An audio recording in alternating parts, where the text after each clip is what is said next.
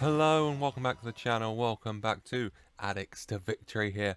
And today we have two big games, one against third place Nottingham Forest and one against fifth place Crystal Palace in a South London derby. Two big fixtures and going into them we have been on some tremendous form I must say. Looking at the schedule last episode, the 2-0 loss to Brentford and since then, five games, five wins. Our new sidings have been flying. Against Luton, a 2-1 win, Dan N'Lundulu getting two goals, and Gabriel Vidovic, the star so far, I must say him and N'Lundulu getting an assist there.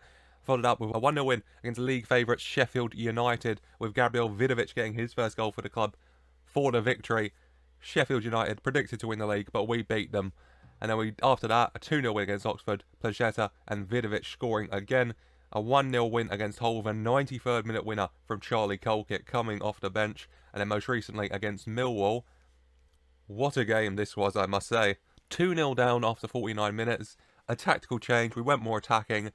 And one of the key things, Gabriel Vidovic went from centre mid to right wing.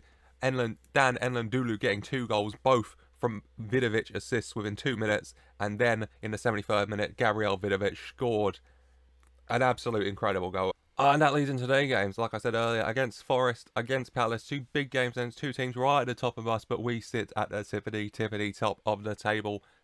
Eight games, six wins, two draws, no defeats so far. I'm speaking way too quickly going into this episode. 20 points. Dan N'Lundulu, second top scorer in the league. Vidovic, highest average rating. The lads are flying. Vidovic, I must say, 7.82 average rating, five games, three goals, three assists off a 0.35 xG as well. The Croatian youngster in his first loan move has done amazing, playing at the Mezzala, playing on the right wing when needed. So pleased with him. In addition, other player playing, everyone's been playing really well, honestly. Uh, got to look at Red Retsos as well. New signing from Greece on deadline day, 1.8 million, putting in good performances. His partnership at the back with the German Martel been really solid defensively. This is how the team's looking for the first game of the episode against Nottingham Forest. Solid team, a few changes to the previous game. I'll just, you know, it's coming in goal. Back for Byram, Retsos, Martel, and Manning. Dobson DM with Rashel and Takahiro Nakai coming in for his first start of the season, I do believe, as his partner. Uh, which complements Vidovic going out wide to the right from centre mid and Placheta switching from the right to the left with N'Lundulu up top as the lone striker. Team's playing really, really well. Uh, the changes I made, Jude Soonsup-Bell hasn't been playing well, so try and Placheta on the right. Vidovic played really well on right wing last game when I switched him there, so starting in there. Nakai coming in because he's just really good, so I thought I'd give him a shot. And hopefully, a good performance against Forest here, try and keep our spot at the top of the table. Throwing for Charlton here, Sam Byram in the Forest half gets to Tarasha, Vidovic, Dobson, and N'Lundulu. Through ball to Vidovic, round the defender and curls it into the back of the net. 12 minutes gone, Charlton 1, Forest nil, and it's their N'Lundulu Vidovic link up. Usually it's Vidovic passing to N'Lundulu to score. This time N'Lundulu plays in Vidovic and playing on the right wing from the start here, curls it in with a corner. Rashel plays it in. And Retsos is there, but he heads just wide of the post. But the score, Charlton 1, Nottingham Forest nil here. Byram with the throw to Dobson, Retsos, Rashel, Byram, Bang. Gives it to Vidovic. Vidovic out wide to Byram again to Rashel. Dobson through to Vidovic. Heads it on to N'Lundulu, who pokes it into the bottom corner. It's not going to be a Vidovic assist. It was McKenna's head back in the end, but N'Lundulu's there to tuck it home. And we double our lead at, against Forest here. Half time at the break. Charlton 2, Nottingham Forest nil. We're winning on the day. They're winning the battle of who has the more attractive looking kit because that kit is lovely, isn't it? The dark blue with a little bit of, is that pink? Beautiful, but that's not what this is based on, is it? It's based on goals, and we've got two of them. Vidovic and N'Lundulu, the stars for us so far this season, getting one apiece as we take this 2-0 lead into the second half. And Takahiro Nakai not having the best game as we hit the 50th minute, so we're going to take him off and we're going to bring on Charlie Webster coming back into the squad.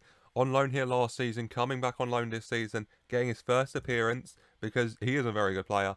Nakai is not playing the best, and Thomas Tuchel did call me up and give me a little bit of verbal abuse for not playing him. So he's in the squad. He's coming on. But it's Forest going forward here. Baba to Ramsey. Whips in the cross. Dobson heads away well. Baptiste picks it up though. To Ramsey. Ramsey to Carvalho. To Baptiste. Switches it to Conti on the right hand side. And Conti taking it forward to Fredericks. Fredericks out wide to Conti. Conti to Baptiste. Baptiste. Through ball to Conti again. Conti refusing to cross. But he's got it again. Baptiste. Finds it to Ramsey. Carvalho. Through ball to Gelhardt. Who smashes over the bar. Thankfully score stays 2-0. Baba to McKenna. Forest moving the ball around their back. Norwood goes forward now to Raul.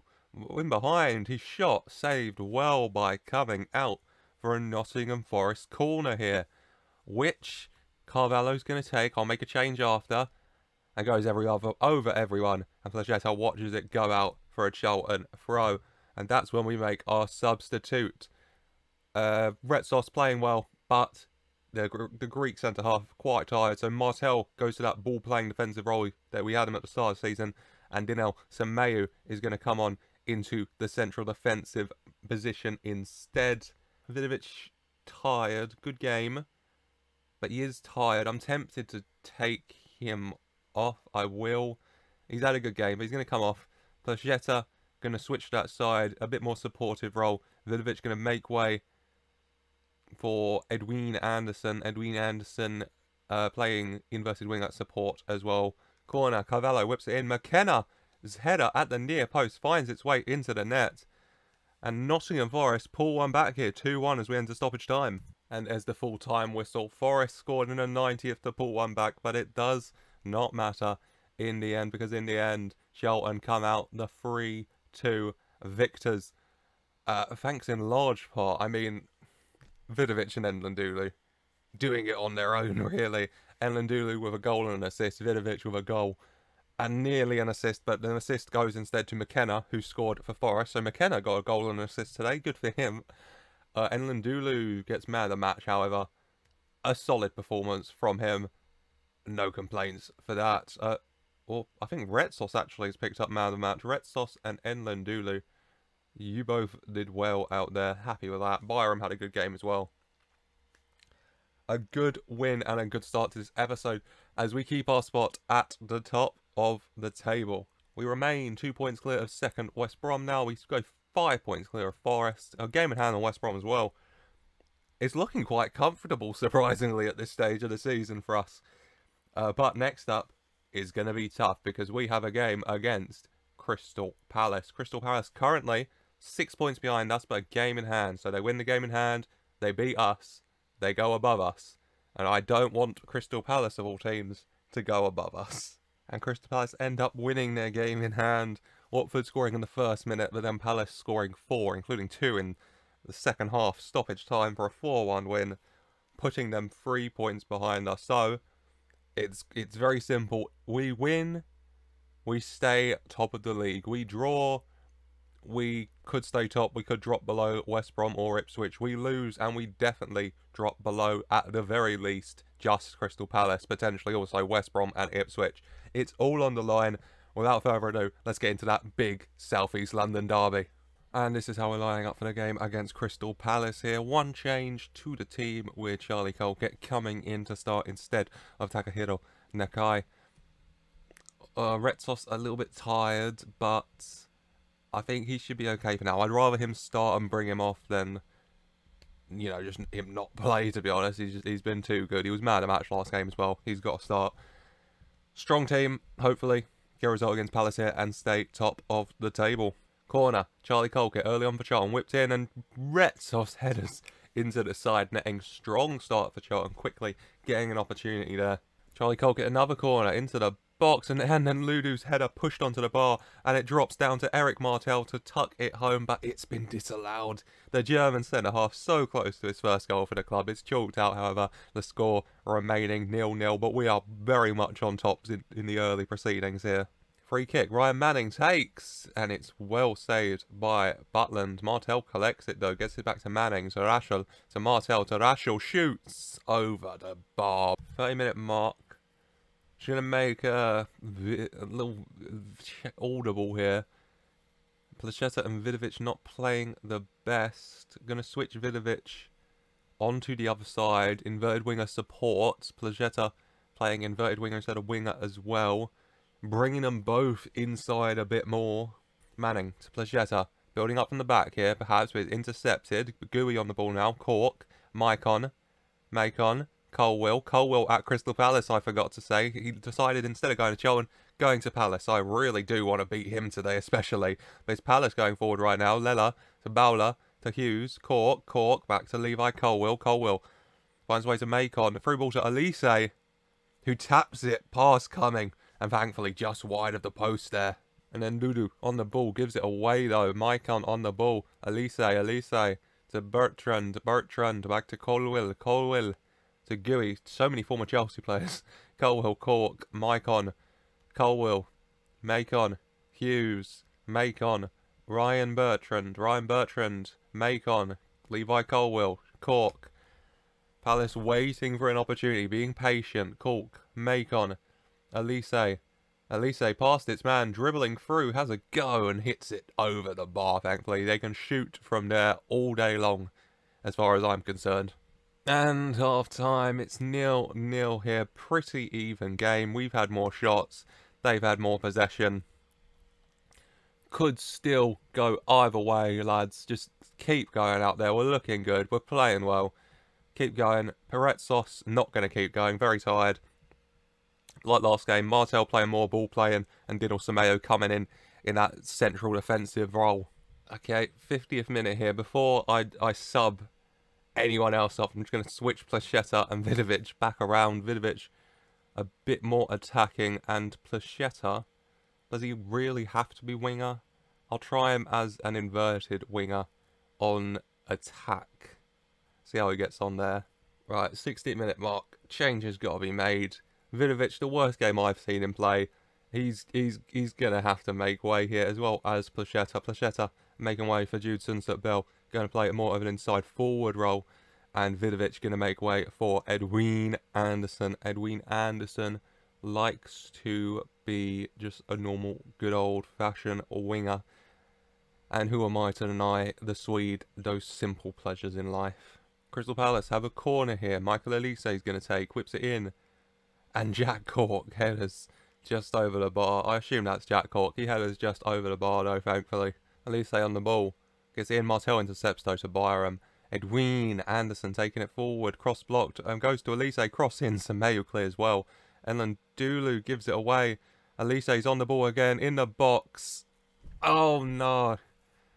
Bloody hell, he scored. 92nd minute, 40 seconds left to play, and we've given a damn goal away. So poor there in these closing stages. Full time. Oh, oh, that's that's annoyed me we played so well. I'd have taken the point.